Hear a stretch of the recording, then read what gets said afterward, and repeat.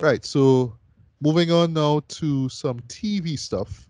Uh, let's talk about Tuca and Bertie season two. So, um, Sure. Ricardo, if you don't mind, I just want you to do the synopsis for this. But before we begin, just uh, a little preamble. Um, we saw the first season when it when it when it when it came out on um on um, Netflix. Uh, we, we we thoroughly enjoyed it as well. But this is yeah, yeah. us Solid too, basically yeah. because we were huge fans of BoJack Horseman, right? So Right. because it's from the same studio, it was just like, well, yeah, Lisa- I mean, Lisa Hanawalt. yeah, yeah, like like I mean, we can't go wrong, like you know what I mean. But uh, what what what was pretty interesting with this show here, and actually recap the first season going into this one here, is how light it is, like Well, emotionally lightweight it is compared. But yeah, it yeah, yeah, not it as was it still- not it as was- rough as yeah, not as rough as Bojack, but it's still yeah, not, um, not, not as rough um, as, Yeah. as BoJack at all, right? But ever so often, especially when you least expect it, though, they will hit your gut punch. But Yeah. it's not it not as it doesn't sting as much as say BoJack Horseman. 'cause when they hit you, boy, boy, you'll feel them blues for like for days to come. It, it that serious, right? But here it's just like understanding these two characters, and it's just for like for me how I see it was just like you know, like if you just take a majority, they, they, they just say like you take Broad City and BoJack Horseman and you put it in a blender and you just add Yeah. a lot of absurd sight gags and stuff like that. That that's what Tuca and Bertie is about, right? I, I loved Tiffany Haddish in this though. Her character as Tuca was just hilarious though. Uh, her, her her bit with um like one bit that that always stood out to me was uh, okay, so there's this sort of um this stuck up sort of British sounding dog um you know Yeah, this ed- aristocrat highly dog educated upstairs, yeah, yeah. this yeah, Yeah, who, yeah. who lives upstairs right? And he he he hires Tuca to like write this note for him about potholes like just that bit alone had me cracking up for for these I love that right?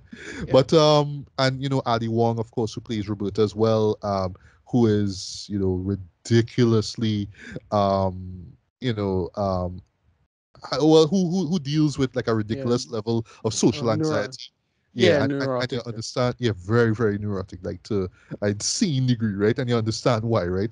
And you know speckle who's played by Steven Yeun right? Who is you know the the architect boyfriend to to roberta right? And uh yeah aka Bertie, right? And just the shit that he had to deal with in this relationship right? So you know you just love seeing these characters and there's all the shenanigans that they get into but it's just how they will take this time to just explore the characters and give them depth and emotional weight though. That really makes the show stand out. Even though at the end of the day it's a lot of absurd humor but you know it it, it, it, works given the, the the characters themselves right? I mean it's a talking toucan and a song thrush right? So Yeah. i mean come on right? But um last thing i want to say though i was really disappointed when i heard a few months later that um the show got canceled right? And i was Right. like wow like we really could have gotten a season two right? So fortunately um you know adult swim was like hey you know what i mean? Let, let, let, let's take this show from from your hands though. Let me make a season two. And we're gonna get a season three hallelujah they actually reveal that in the second to last episode here Yes, but yes, you know yeah. yeah is what what makes it weird before we get to your thoughts ricardo is that this is right up adult swim's alley because they Yeah. are all about weird absurd ape shit crazy animation that is right up their alley Tread. so yeah perfect home for a show like like and Bertie, in my opinion right so Yeah, um yeah so ricardo thoughts on season one of Tuca and Bertie, and then we could get into yeah. I, I remember I remember digging it. I had a lot of fun with it. Um, you know, weird off the world, you know, off the wall humor. Um, you know, a lot more absurdist than BoJack Horseman was. Uh, Hanawalt has a real good sense of um space and movement for characters and how to make um just visual humor, visual gags. It works really well. And yeah, I just had a ton of fun with with what she what they was going for um with that season one. And it had a lot of good, you know, emotional true lines to make it work anyway. So yeah, uh yeah, dug the show for it was. It was great. Don't like it as much as Bojack, but still up there. You know, it does its own thing. Right. So yeah, Ricardo, if you don't mind, um, just just quick synopsis on what this this season was about, uh, like in, in a nutshell.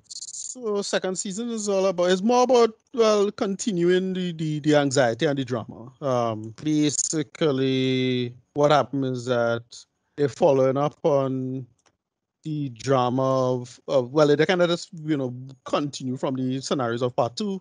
They just have their own their own drama going forward.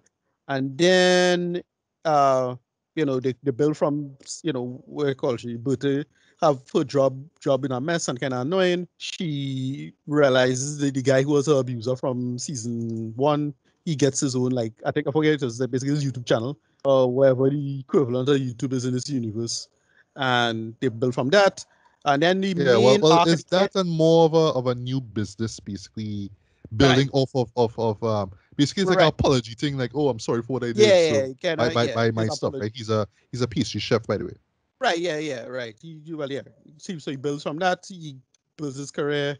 Then Bertie gets into a relationship with a nurse because she keep visiting her aunt, who, well, the same aunt from season one, visiting her. Oh, you know, Tuca. Tuca, Tuca. Tuca, sorry, yeah. Yeah. Tuca, right. Um, visited visit the aunt. The aunt say they they meet. She meet this nurse and they get she get in a relationship with her. It's kind of shitty, and they have a whole certain um, whole uh, arc with that. And then Steven Yeun is obsessive about architecture because he has no freedom, uh, creative freedom, and that's basically the arc. Oh, and then well, the, the, cover the whole narrative is that this basically like a, a slime mold or some type of fungus, you know, covering Yeah. the whole city effectively, and it's basically For, for, for to call it. reasons, uh, for reasons. Yeah, but is that, is that, is that the whole subtext of it might be corporatism or you know, um, gentrification or whatever it is. Basically, just corporate culture b- buried the world. Uh, uh, they have a big disaster um at the end of season season one. Sorry, at the end of the season three finale, and uh, yeah, that's basically it. They and they they get into friendship and and usually emotional through lines.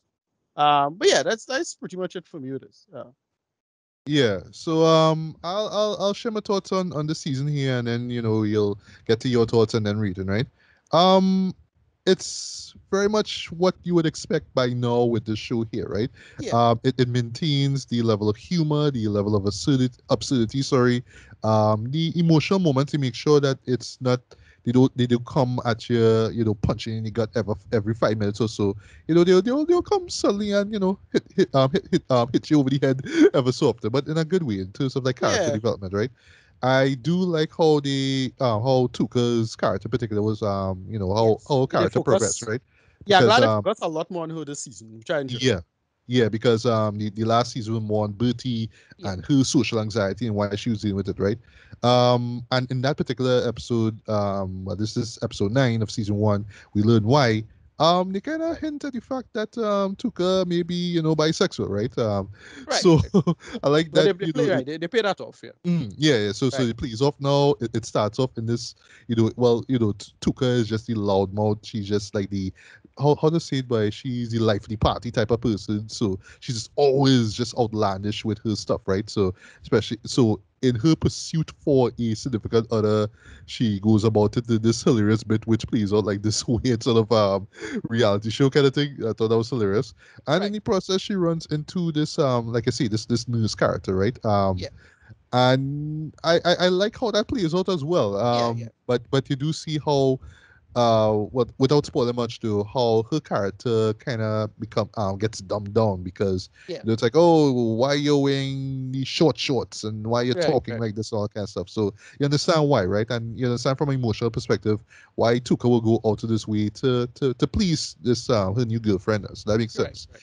Um, with Bertie though, um, I, I like that you know. Um, well, for one thing, she she finally goes to um, a therapist, so you Right. know, uh, points for her for that. Um, Dr. Joanne, that that's her name, right?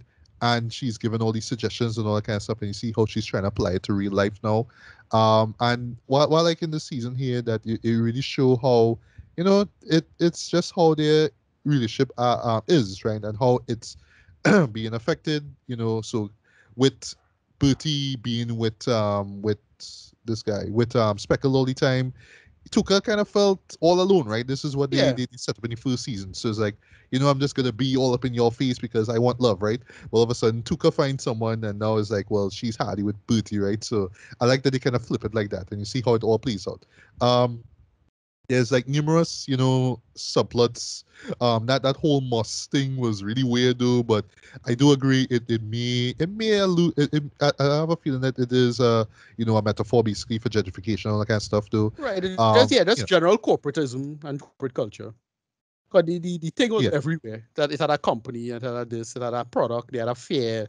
It's all that Yeah. shit. man. And it, it I, I, I love I love um uh, there's this this particular representative yeah, um, and every time you, you kind of say okay so why doesn't why doesn't the Moss do this well she just says well it's Moss because Moss doesn't have any emotion because it's Right. Moss you know I mean? Yeah, so yeah. that, was, funny that was funny that was funny Yeah. yeah um as I said before you know what I mean Adult Swim is just the perfect home for this though because I feel like personally they just amp on they just they just amp up on the um, on the absurdity way Yeah, um not too too too too much to make it like unbearable right?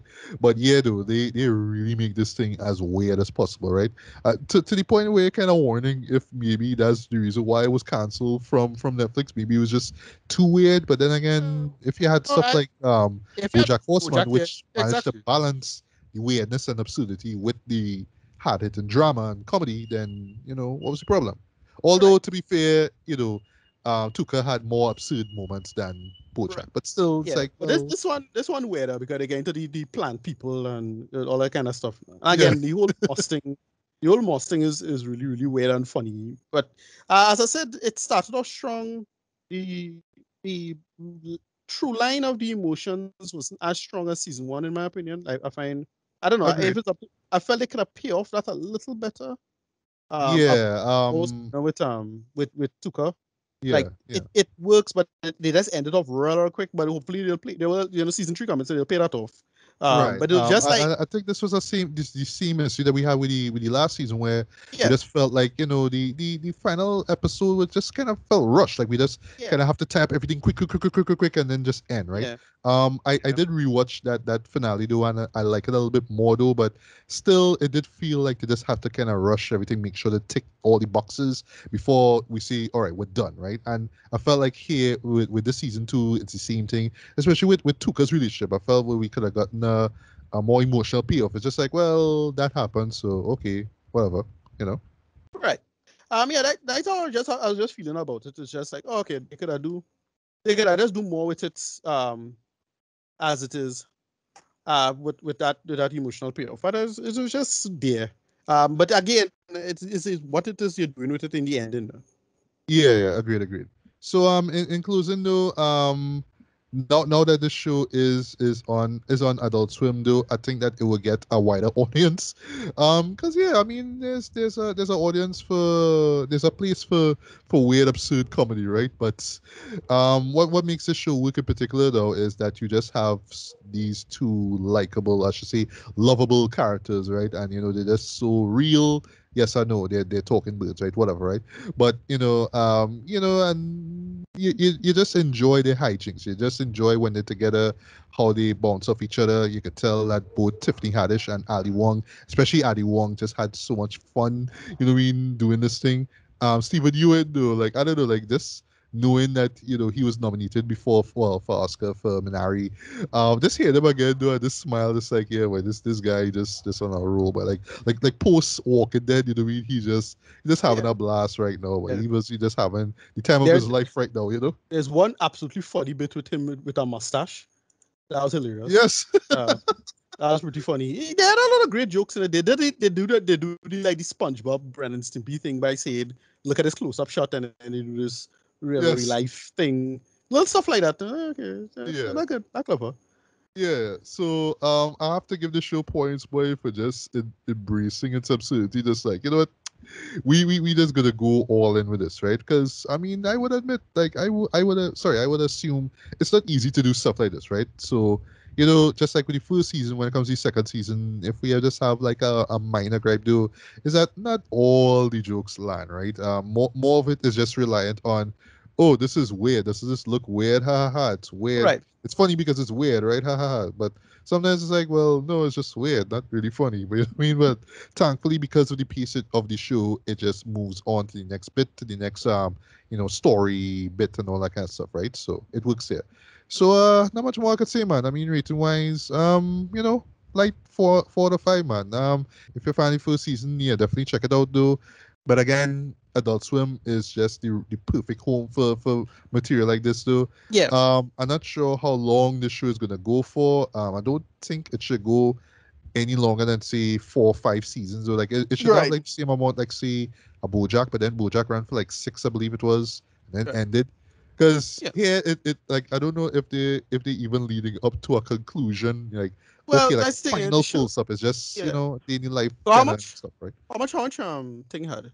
What do you call it? Um, this show. Bojack No, BoJack. Um, how much this do you call him? Broad City had like four or five. oh um about um about five I think so yeah. about five if I'm mistaken Uh, it's, it's, I don't know where's the arc exactly. To be honest, I don't know where it's going. Like with BoJack, it had a clear arc. Like we know what- Exactly, yeah. where where things going ultimately. Um, Yeah. you, you it have a lot of roller coasters. Um, but I don't know where, where they're going with this one. We'll see. Um, the problem is is is is the nature of Tuca and how she gonna play out because she's like the X Factor character, and I don't know what they're doing with her to be honest. no. Um, but yeah, I thought this was a solid season. I didn't love it. Um, same as, I kind of put it rank it roughly the same as season one, as in it's good but not great, and they could do a lot more with it, but it's still good. Um, and I dig it for what it is. Um, so that, that is how I feel about it. Yeah, yeah, yeah. Um, and last last thing I'll say, um, but at the end of the day, this this this this humor has to be for you, because I Yes. know like absurdist animation, uh, comedic animation is not for everyone though. Um, some people might just watch this and just think it's just too weird or weird for the sake of it. But um, no, I I, I think that you know despite its weirdness, because remember again, it's Adult Swim, they could just go you know, like like they've they've they've just built a reputation of just going all in when it comes to weird shit. Like just look at the little promos that show, you know, we after the commercials, right? Like Yeah, look yeah. at those, Joe. Like like all you, you I, I haven't seen those things in ages, Joe. I'm like, wow, this shit just like real fucked up though. Wow, Yeah, right? all you, all you Rick and Morty stuff funny though. Yeah. that one with with with the, with the Freddy Krueger character, I forget I forget his name was Um, just Scary Terry. Wow. Yeah, scary Terry is like, jeez. But yeah, that was hilarious too. You know what I mean? So again, you know what I mean? Perfect, perfect home, man. So I, I feel like um Lisa Hanawalt just probably had a blast here. Um Yeah. oh yes, I forgot to mention some too. The MA content, the TV MA con- content is slightly toned down a little bit more in this season here. Like you, well, because in Netflix, you didn't have to worry too much about um, you know, sent, uh, you know, um overly censored stuff, right? So like, you know, in the first season you would see boobs, you would see, you know, just um yeah, characters will like literally, you know, drop F bombs and stuff like that and um, stuff like that. Um here, you know, they, they bleep it, right? So I imagine if it does ever come out on, you know, Blu-ray, whatever it is, you'll hear everything. But I felt like, you know, in terms of like the language, it's not as I don't want to say bad. I don't want to come off like some old guy, like oh, bad language. Oh. But it's Right. it's not as noticeable in this season than in the first one. You- You, you could tell like she had to kind of play by Cartoon Network's rules a little bit. So you know now it's more of a TV. Now it's a TV 14 and a TV Right. Emmy, right? So that's just something I noticed.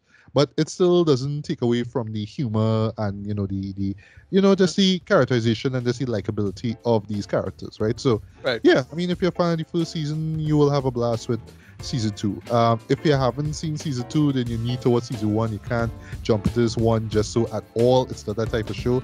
You have to know these characters inside and out to, to really appreciate it. And yeah, you should you should enjoy it, man, for what it was. You should Right. for what it is. Sorry, you should enjoy it for what it is.